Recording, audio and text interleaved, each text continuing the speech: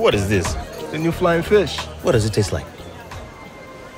Mmm, It's the perfect blend of premium beer and fruity flavor. There it is. Nothing tastes like flying fish.